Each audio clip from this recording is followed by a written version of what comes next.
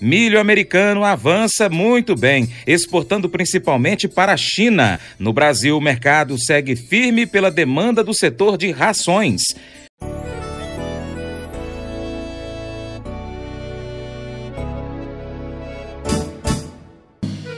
Acordo de manhã para prosear no mundo do campo, as notícias escutar. Vem com a gente em toda a região com o seu programa Paracatu Rural. Tem notícias, informação e o mais importante, sua participação.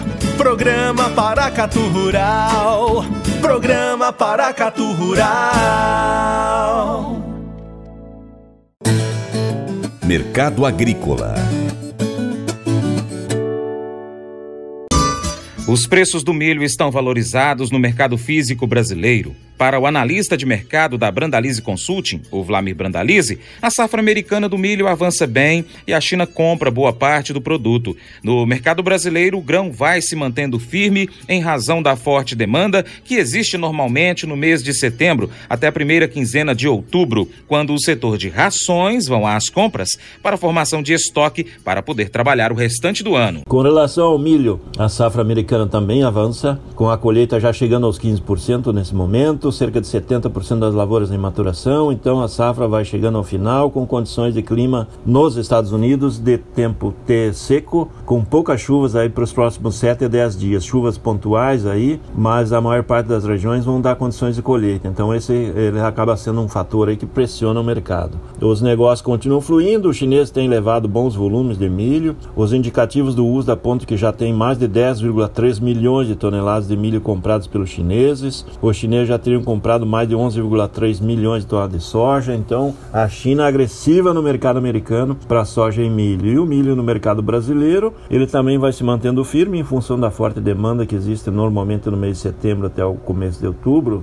primeiras quinzenas de outubro, quando o setor de ração vem para as compras e formação de estoque para trabalhar o restante do ano. Então, o mercado de milho segue firme aí no interno e poucos negócios novos aí na exportação. Os indicativos nos portos aí têm dado aí de 60 a 64 reais. Melhorou os níveis nos portos, estamos nos melhores momentos do ano nos portos também. Para milho, entre 62 a 64 reais, esses são os indicativos da semana. E isso dá fôlego para o mercado interno, então obriga a indústria a ter que pagar uns 65 a 67 reais, 68 no sul para o milho CIF. Então o mercado segue firme, com boas condições para aquele que ainda tem milho para fixar e aí a demanda segue em boas condições aí para o setor da ração. O mercado já esperava que o milho teria uma pressão pressão de baixa nesse momento, mas como as chuvas ainda não se normalizaram para a safra de verão, a indústria está correndo atrás de milho justamente para não correr o risco aí, porque há um atraso no plantio, no, final, no fechamento do plantio da safra de verão e há um problema com a pouca disponibilidade de chuvas aí para as lavouras que estão nos campos. Então,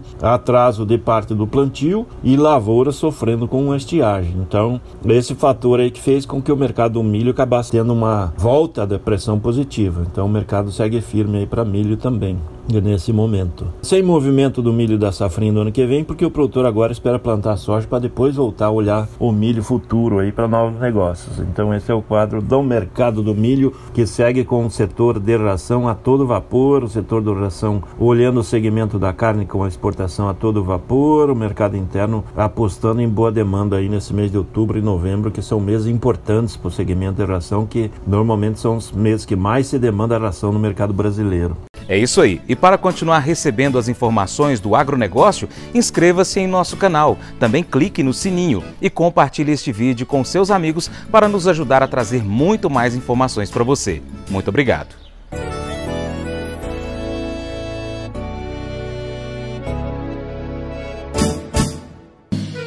Acordo de manhã